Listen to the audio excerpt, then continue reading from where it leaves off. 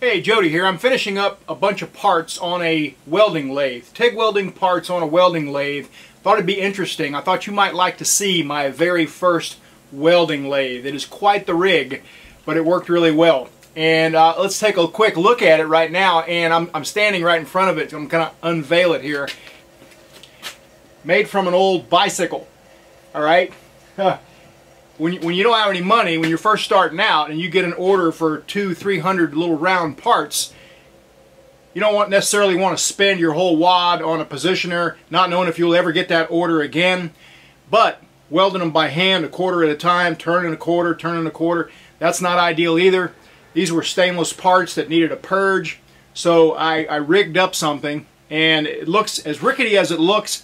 It worked like a champ. So let me take a quick look at it. I'm not saying it's I'm not saying it's the right way to do anything because I'm not I'm sure there's some grounding going on here through bearings but the bike was free. The drill motor that powers this thing was five dollars at a yard sale. Everything else was scrap and it got me going. I was able to bang out a couple hundred parts really quickly. Uh, I had a Miller Syncrowave 250 that was my first real TIG welding machine.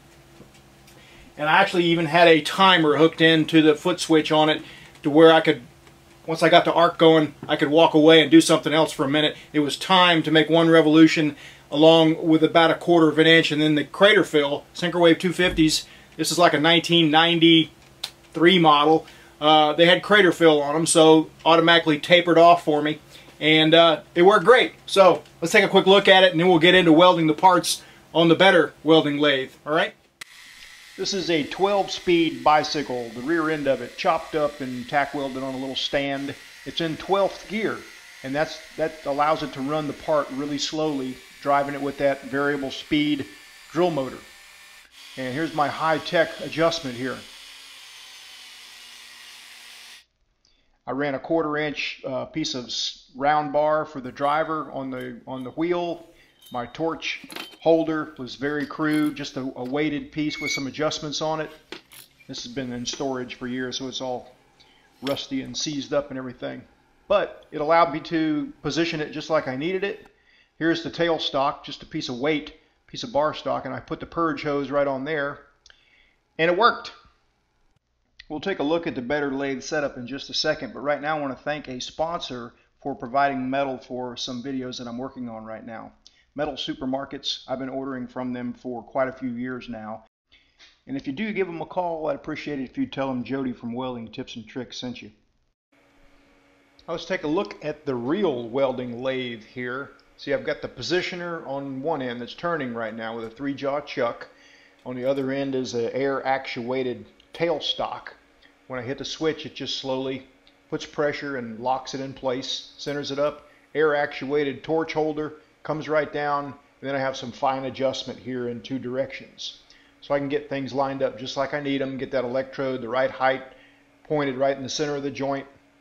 Let's take a quick look at the settings I'm going to use for this. I'm using pulse at two pulses a second. So I've got a 0.2 second pre-flow on the purge so that I get a good arc start, upslope of one second, peak amperage set at 200 amps, two pulses a second, pulse percentage on time 50%, background 35%, downslope 5 seconds.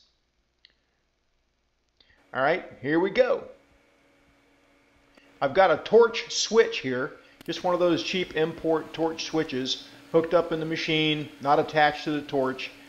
I'm using it in one hand and feeding filler wire with the other. Just using lay wire, 332 diameter, that's 2.4 millimeter ER70 S2 filler, 332nd, 2% lanthanated electrode. And that's just enough heat to push that puddle out to barely melt the, the, the sidewalls in. And there is no weld symbol on the drawing for this particular weld. But I did get a verbal request from the machinist to try to keep it flush or below flush, though that's what I'm trying to do here. I've got it set once again at five seconds downslope. So when I hit, when I let off the switch there, it's tapering down now. It takes five seconds to gradually comet trail out. Leaves a nice little tail off.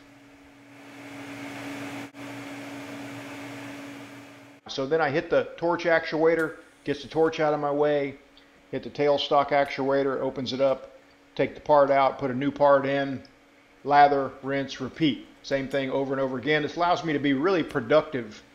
I can bang out some parts this way really quickly.